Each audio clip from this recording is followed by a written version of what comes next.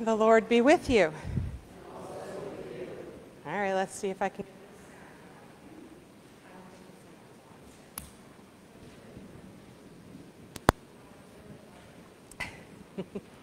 That's all right. It's going to give me a minute to um, share with you. Do you have mint? Some of you are going to get some mint leaves. There we go.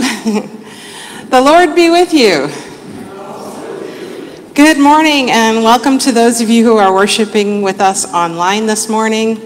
Uh, this is the fourth Sunday after Pentecost, and we're at St. Paul's Lutheran in New Cumberland, Pennsylvania. I'm Pastor Jenny, and we're so glad you're with us. If you don't mind saying hello, um, we've got some, a couple of good folks behind the wheel today Jan Retman and her hubby.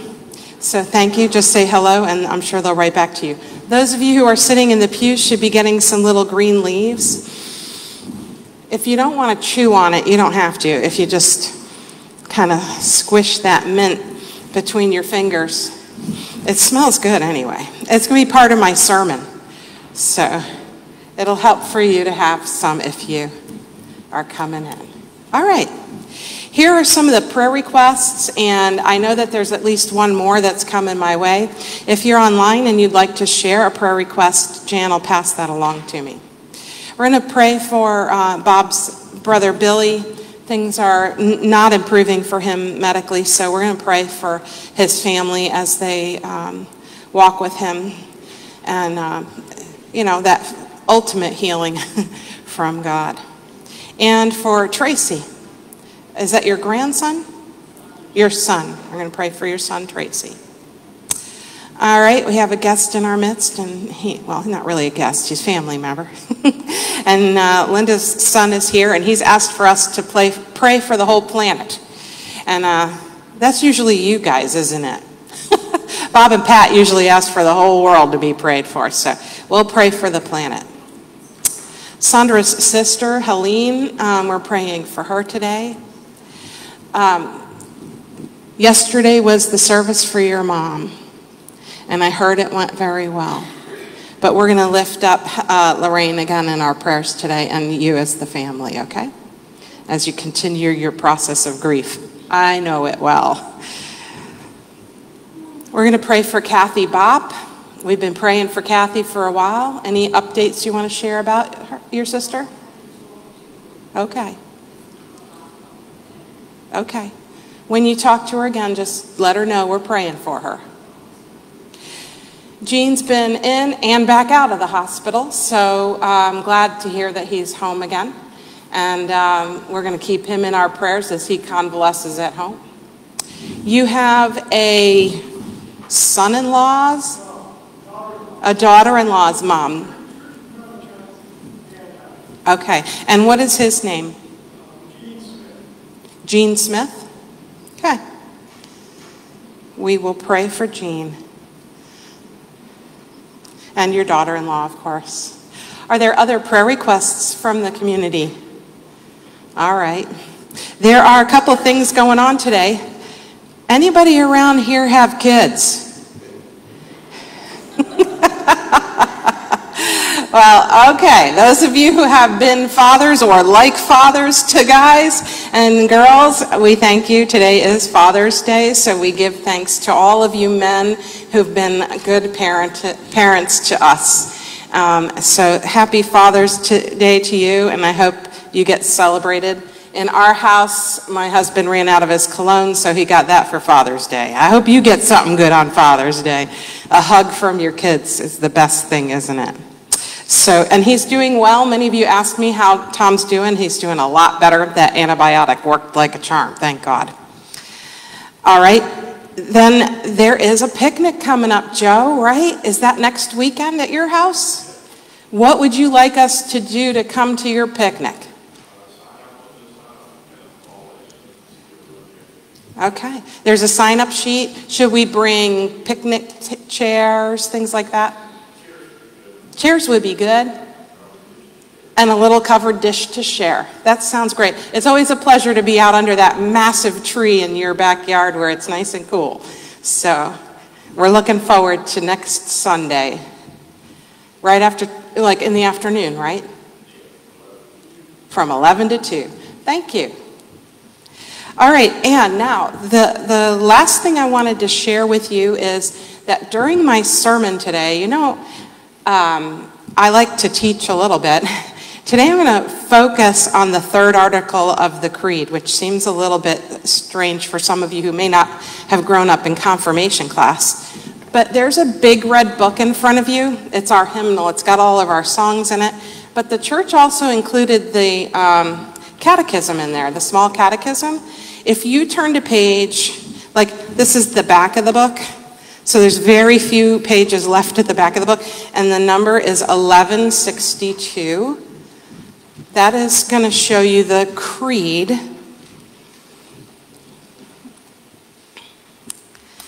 And then you'll see that the creed is broken down to focus on the three parts of the triune God. So Article 1 is, would be um, the Father. Article 2 would be the Son. What do you think Article 3 is about? The Holy Spirit and the church. So I'm going to be talking a little bit about that third article. So if you just kind of leave it to the side, you'll be able to um, follow along with me when we get there. Are there any other announcements that need to be shared? Yes, Miss D, you have some things to share. Would you mind coming forward and using the microphone? Because then people who are online can hear you too. I'll give you my microphone so they can hear you.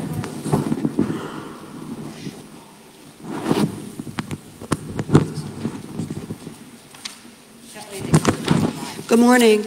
Uh, last week there was a West Shore Conference meeting, and I want to uh, thank Anita and Jan attending along with pastor.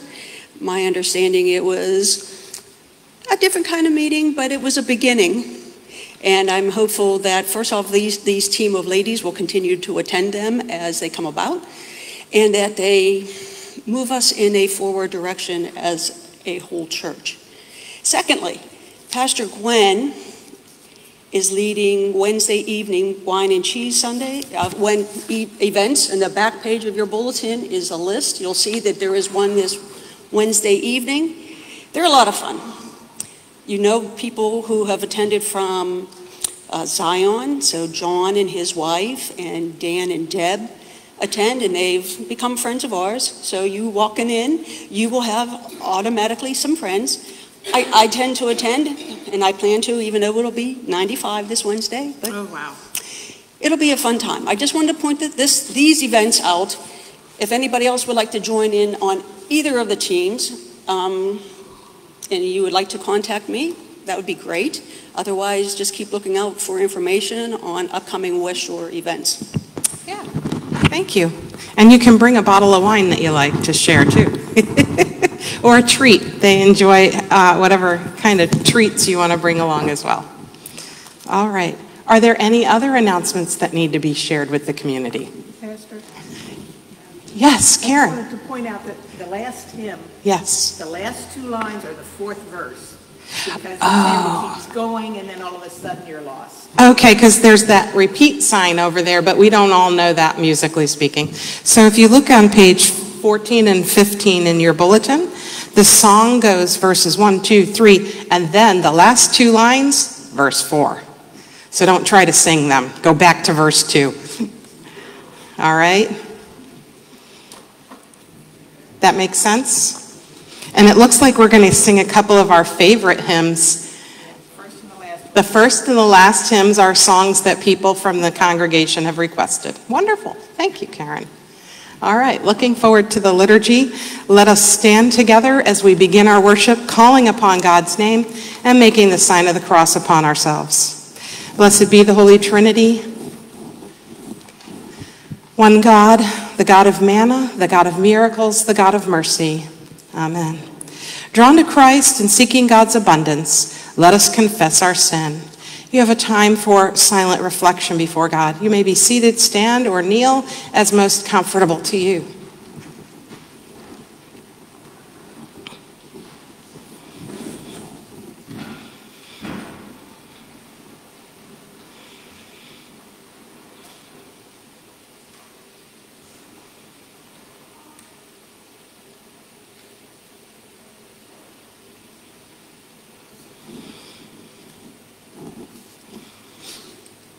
God, our provider, help us. It is hard to believe there is enough to share.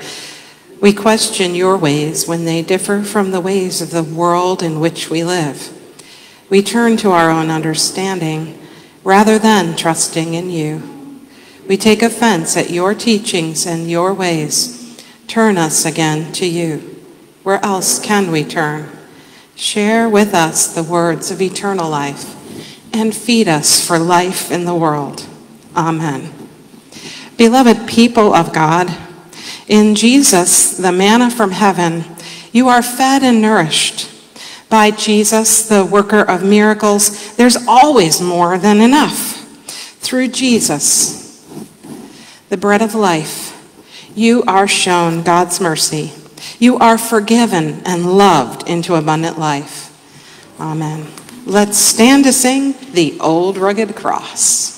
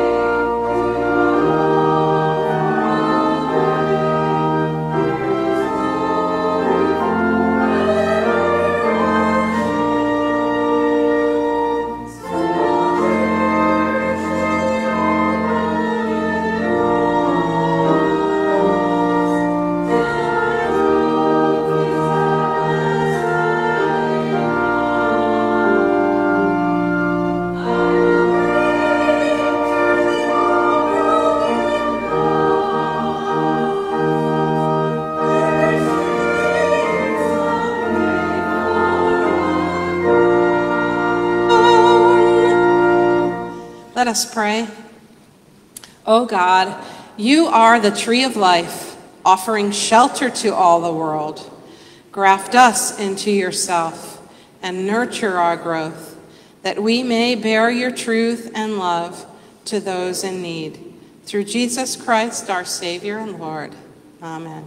Please be seated for the hearing of the word.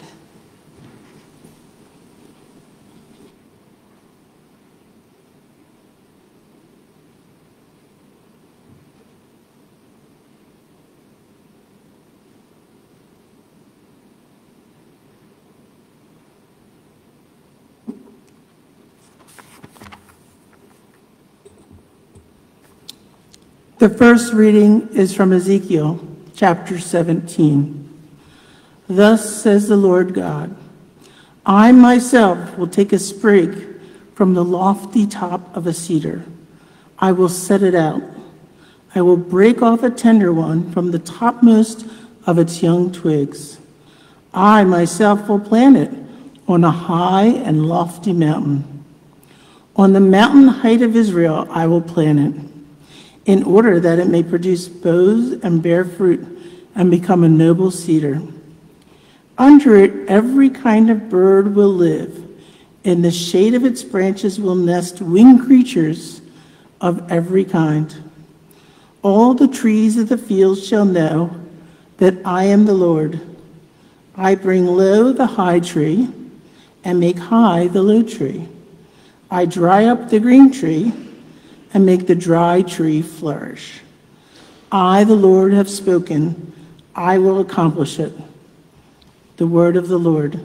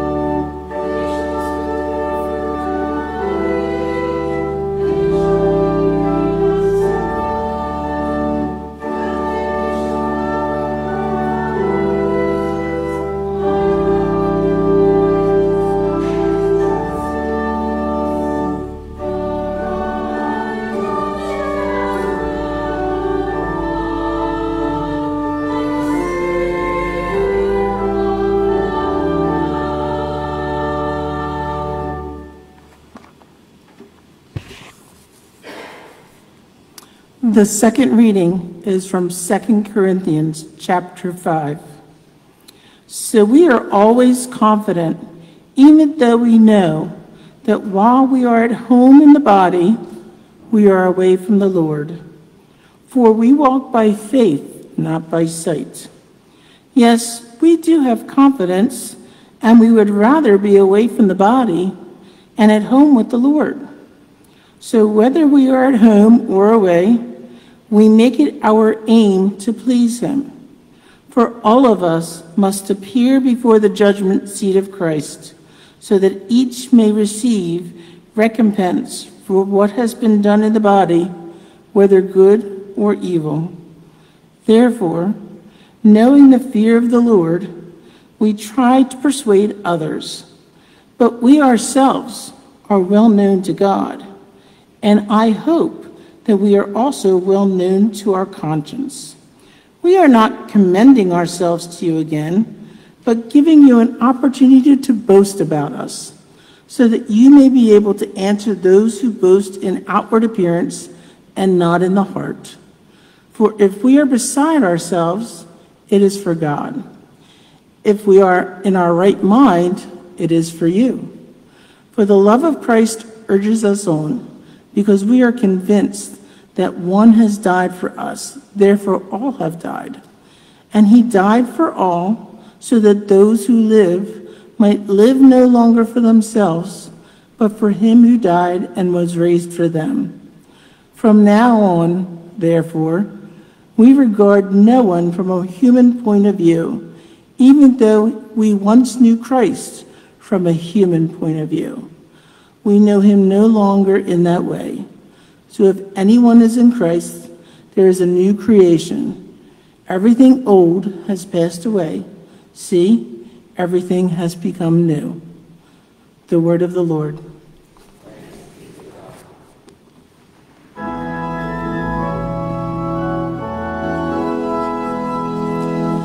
Lord, let my heart be good soil, open to the seed of your word. Lord, let my heart be good soil, where love can grow and peace is understood. When my heart is hard, break the stone away. When my heart is cold, warm it with a day. Lead me on your way. Lord, let my heart, Lord, let my heart, Lord, let my heart be good soil. The Holy Gospel according to Mark, the fourth chapter. Glory to you, O Lord. Jesus said, The kingdom of God is as if someone would scatter seed on the ground and would sleep and rise night and day, and the seed would sprout and grow. He does not know how. The earth produces of itself first the stalk, then the head, then the full grain in the head. But when the grain is ripe, at once he goes in with his sickle because the harvest has come. He also said, With what can we compare the kingdom of God? Or what parable will we use for it? It is like a mustard seed, which, when sown upon the ground, is the smallest of all the seeds on earth.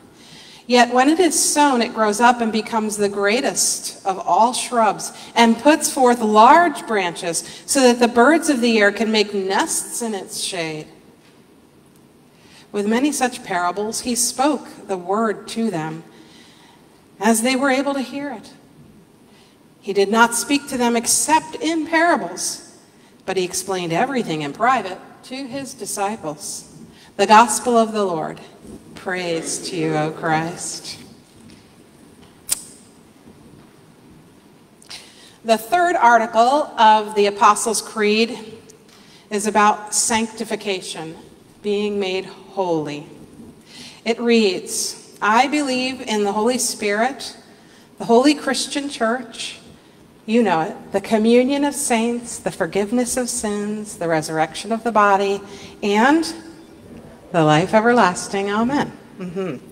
Luther thinks that every instance mentioned in this article the church, the communion of saints, the forgiveness of sins, resurrection of the body, and life everlasting are all gifts from God. Every part of it. Unlike the previous two articles of the Creed, Luther begins the explanation of the third article not with a confession of faith saying, We believe in God, but a statement of the inability to believe. This is what he writes. What does this mean? I believe that I cannot, by my own reason or strength. You see the what does this mean part? You're following along with me in the little red book? Okay. I believe that I cannot by my own reason or strength believe in Jesus Christ, my Lord, or come to him. But the Holy Spirit has called me by the gospel, enlightened me with his gifts, sanctified, that means to be made holy, sanctified me, and kept me in true faith. In the same way, God calls, gathers, enlightens, and sanctifies the whole Christian church on earth and keeps it with Christ Jesus in the one true faith. In, the, in this Christian church, he daily and richly forgives all my sins and the sins of all believers. On the last day, he will raise me and all the dead and give eternal life to me and all believers in Christ. This is, do you know this from, from Confirmation Day? This is most certainly true. Do you remember that? Martin Luther professes that he cannot understand or even believe on his own. Do you think that's true about yourself too? It's hard. That faith, that belief, that relationship with God is a pure gift, and it cannot be demanded.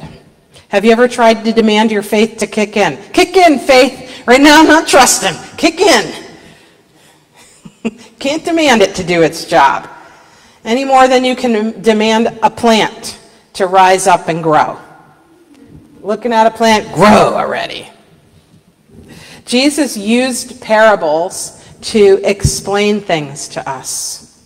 I've been speaking to you in very theological terms so far what we hold to be true that God is mystery, and that faith and belief, uh, trust, these two are also mystery. Why do some believe and others not? Why? Frustrating, isn't it? Why do I sometimes believe and sometimes not? That's frustrating too. I can't even demand my own self to figure things out. I can't understand my own self, let alone how faith stuff works. Yet Jesus was asked about this, you know, how does this stuff work? What is this kingdom about? And he used common things to explain it. In our gospel today, Jesus uses the story of a sower who throws seeds about willy nilly. He just scatters them. Well, isn't that a little crazy? I've watched my husband Tom grow things. Never once has he taken seeds and just chucked them willy nilly. He actually gets in the dirt, digs a hole, plants the seeds, and then takes some more dirt and covers it up. He doesn't just stop there, there's more. Let's continue with Jesus' story. The sower then goes to sleep and rises day and night, and the seeds sprout and grow, and he doesn't know how. Well, that's me for sure. All right. Again, another silly story. Tom definitely knows how seeds grow, and he's not even a farmer. He makes sure that he waters that dirt as soon as he's finished putting the seed and then the dirt on top of it. And then he also makes sure that there's the proper amount of sunlight and, of course, poop, right? That soil needs fertilizer in it. I mean, who is this sower that Jesus is talking about anyway? Then Jesus goes on to tell us that the earth produces of itself. First the stalk, then the head, then the full grain of the head. Well, that's true. We just know that the earth is bountiful in its ability to harvest. What a story. So, how are we to understand when Jesus talks in riddles like this about this sower? I believe that this is the same kind of mystery that Martin Luther was speaking about as he was getting into that third article of the Creed. We cannot always understand how God works. Why do some churches have 65, 70 people in it? Like this was your question to me this morning, and ours doesn't.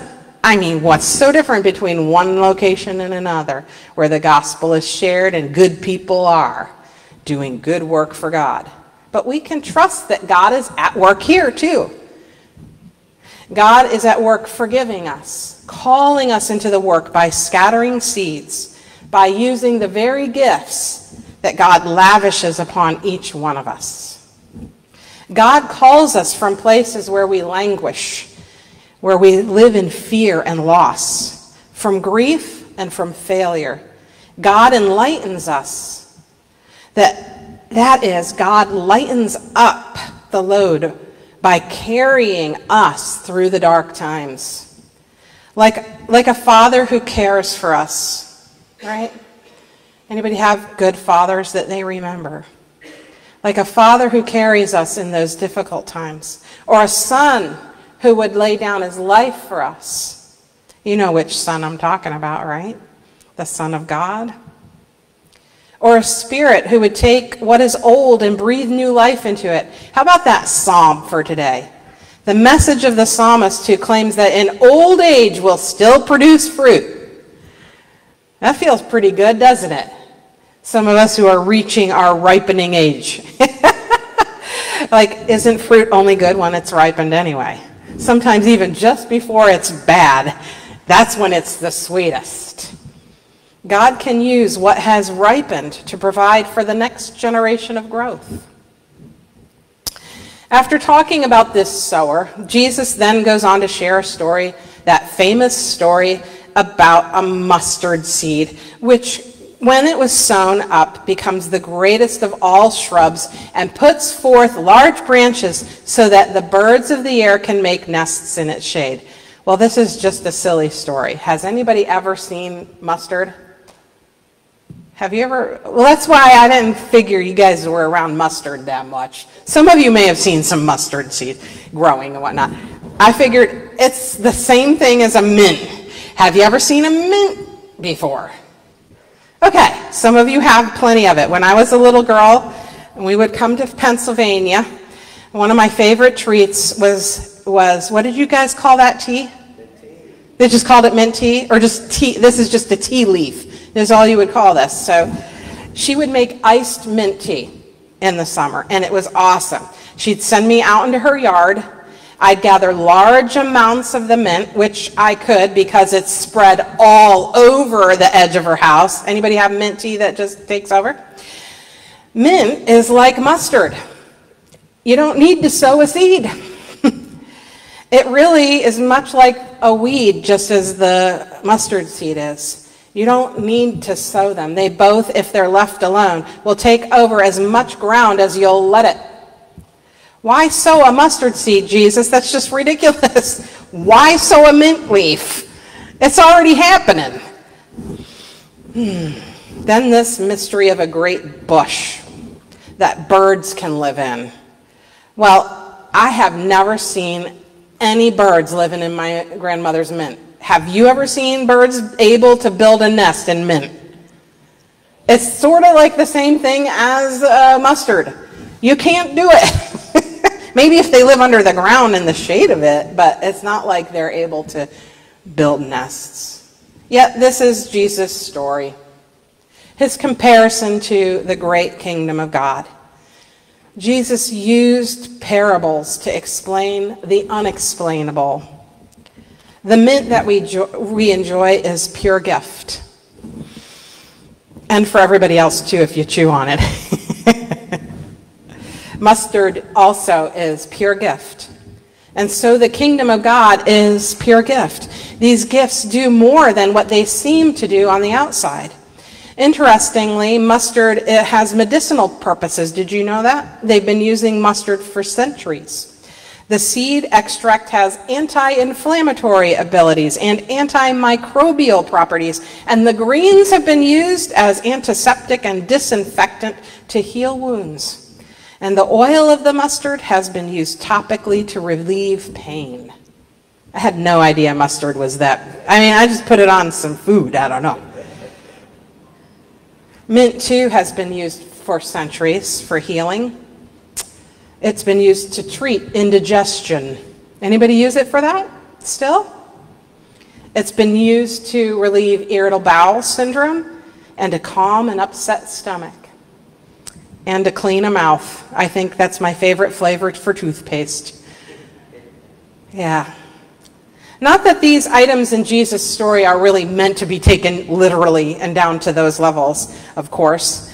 Jesus used parables stories to teach, to compare, to engage our mind in wonder, to encourage us to trust that God is with us, even when we don't understand why this and not that.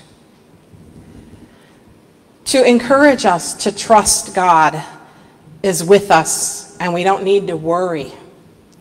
This God of ours continues to heal, to feed, to call us, even when we don't understand. When our faith falters or is absent altogether, it's silly to think that we can fully understand God's mercy when we can't even fathom our own behaviors and thoughts. God's mercy includes resurrection and hospitality, such as the first lesson teaches us in Ezekiel that all birds are welcome. You know any crazy birds out there? God says, All birds are welcome in my tree. All birds are sheltered here. All birds are cared for and fed here. God's mercy encompasses everyone and everything, just as Linda's son mentioned. Let's pray for this whole planet. Well, guess what? The whole planet is cared for by God. We need not fear. May the smell of mint or mustard remind you that God's love is as pervasive and persistent and miraculous as they are in the field. God tends to us and this creation with hope and love and tenderness, the kind that, that you have when you have like a loving parent on Father's Day.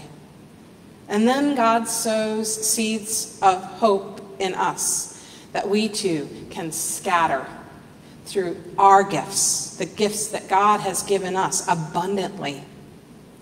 Enjoy your minty freshness today and ponder where God is calling you to speak, to live out your faith in trust and hope.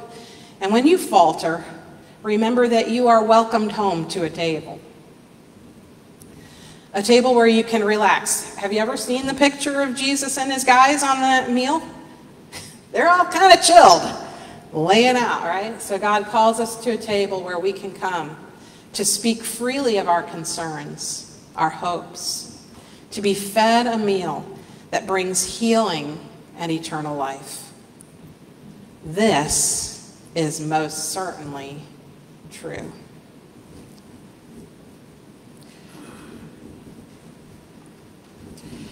All right, well, it is time to sing another hymn of faith. This one is The Reign of God like farmers like farmers field. Let us stand to sing together.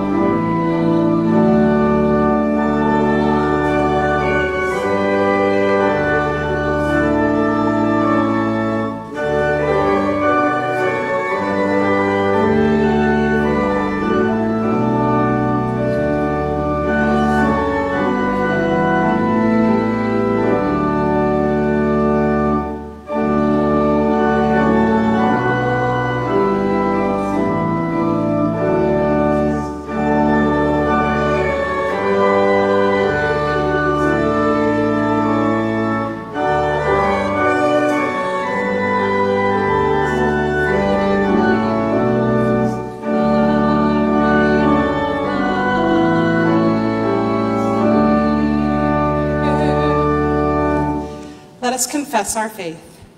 I believe in God, the Father Almighty, creator of heaven and earth. I believe in Jesus Christ, God's only Son, our Lord, who was conceived by the Holy Spirit, born of the Virgin Mary, suffered under Pontius Pilate, was crucified, died, and was buried. He descended to the dead. On the third day he rose again. He ascended into heaven. He is seated at the right hand of the Father, and he will come to judge the living and the dead. I believe in the Holy Spirit, the Holy Catholic Church, the communion of saints, the forgiveness of sins, the resurrection of the body, and the life everlasting. Amen. We come before the triune God to pray for our communities, ourselves, and our world. Nourish your faithful people through gifts of word and worship. Guide the church in listening to and interpreting your message of grace for this time and place in history. In your wisdom, lead us in expanding the reach of your love. Merciful God, receive our prayer. Nature sings of your love in the morning and your faithfulness at night. Sustain the holy rhythms of creation, days and seasons, hibernation and activity, phases of the moon and tides of the sea. Let these patterns assure us of your constancy. Merciful God, receive our prayer. You raise the lowly and humble those in high places. Raise up all who are victims of marginalization, discrimination, and hate. As we anticipate Juneteenth, banish white supremacy and bigotry from the hearts of all your people and remove the inclination toward anger and violence. Merciful God, receive our prayer. Tend to all who journey by faith and who wait with patience for the fulfillment of your healing promises. We pray especially for Peggy Warmkessel, Anita and Joanne Painter, Hannah, Trudy Stum, Loie Parker, Steve Knock, Edsel, Debbie Aldridge, the Holden family, Anna, Kathy Miller, Marty Pano, for Jenny's family and Paul Sheffer, Ken, Judy Smith and their family, for Bob and Maggie Fogelman, for Sonia, Shauna, Ken Lytle, Meredith Harris, John Carr, Janet Rowe, for Megan, for John Kerrigan. We lift before you Billy and Tracy, our whole planet, Lord God. We pray for Helene and Kathy Bopp and Jean. We also lift before you, Lord, those who are on our hearts.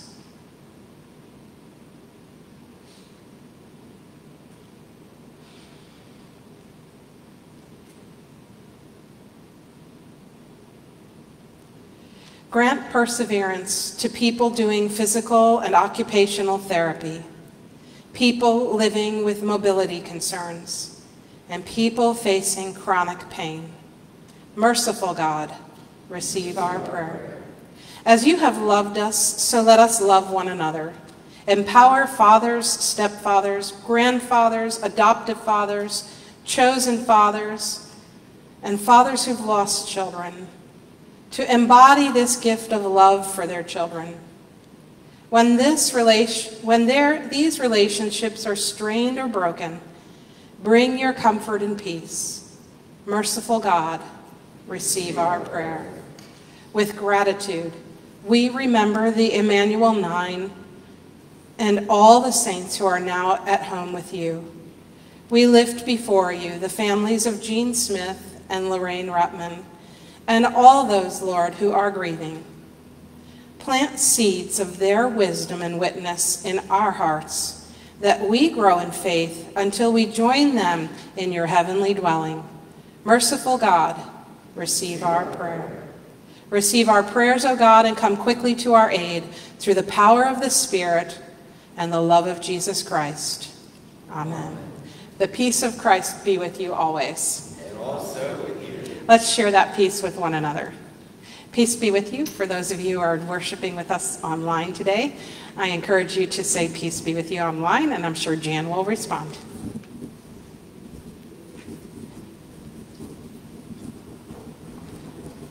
Peace be with you. Peace be with you.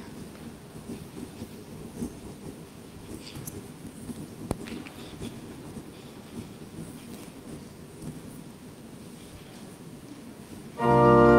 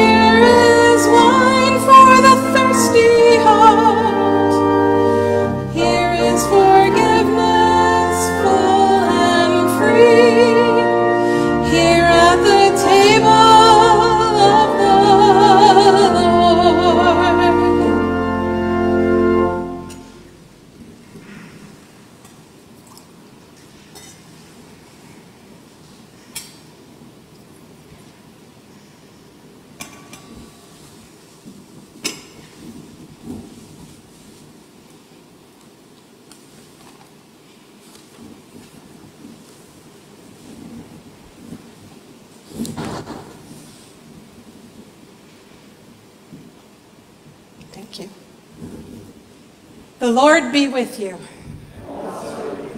Lift up your hearts. We lift them to the Lord. Let us give thanks to the Lord our God. It is right to give our thanks and praise. For I received from the Lord what I also handed on to you that the Lord Jesus, on the night when he was betrayed, took a loaf of bread. When he'd given thanks, he broke it and said, This is my body that is for you. Do this for the remembrance of me. In the same way, he took the cup also after supper, saying, This cup is the new covenant in my blood. Do this as often as you drink it in remembrance of me. For as often as you eat this bread and drink this cup, you proclaim the Lord's death until he comes. Lord, remember us in your kingdom and teach us to boldly pray. Our Father, who art in heaven, hallowed be thy name. Thy kingdom come, thy will be done, on earth as it is in heaven. Give us this day our daily bread, and forgive us our trespasses, as we forgive those who trespass against us. And lead us not into temptation, but deliver us from evil. For thine is the kingdom, the power, and the glory, forever and ever. Amen. Christ has set the table with more than enough for all. Come.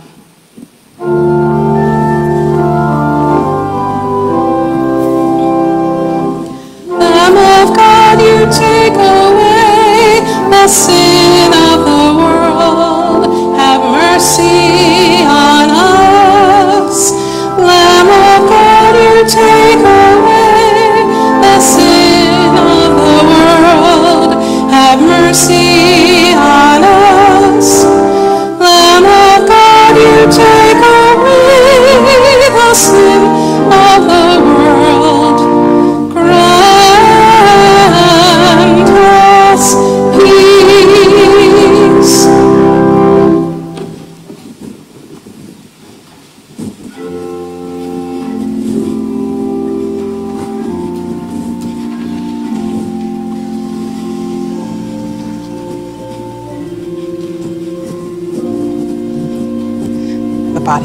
Christ given for you.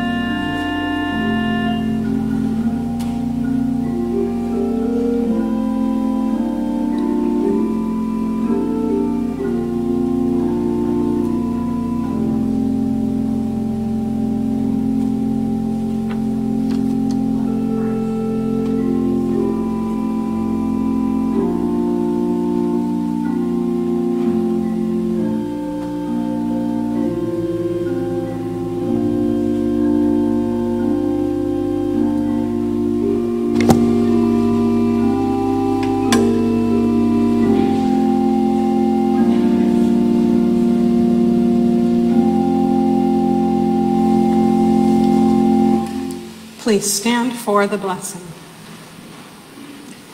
The body and blood of our Lord Jesus Christ strengthen you and keep you in grace.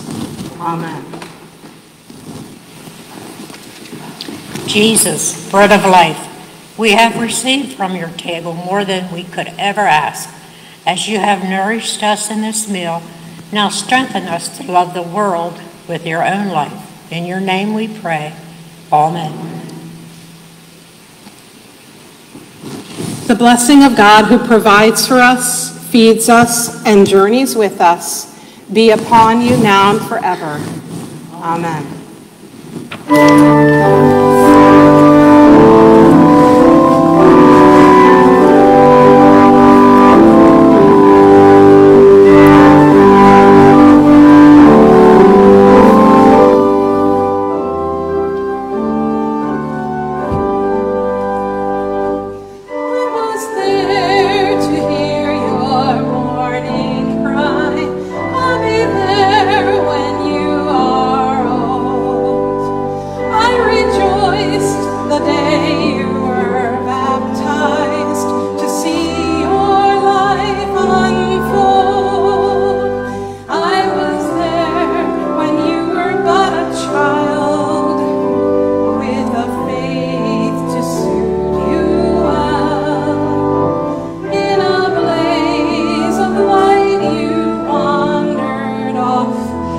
find